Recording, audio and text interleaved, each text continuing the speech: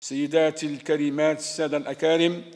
إن وزارة العمل والتشغيل والضمان الاجتماعي بحكم مسؤولياتها الاجتماعية تعمل دائما على المساهمة في تحسين شروط العمل وظروفه والعلاقات المهنية من خلال مراجعة التشريع والتنظيم المتعلقين بالعمل لا سيما في مجالات ممارسة الحق النقابي وشروط وإجراءات ممارسة حق الإضراب وتسوية النزاعات الجماعية في العمل وذلك طبقا لمعايير العمل الدولية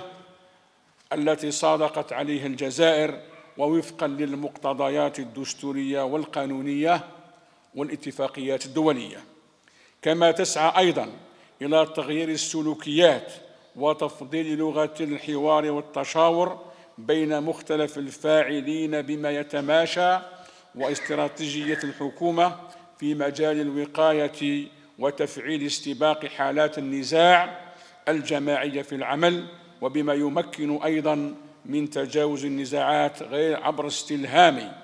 آليات المصالحة والوساطة والتحكيم.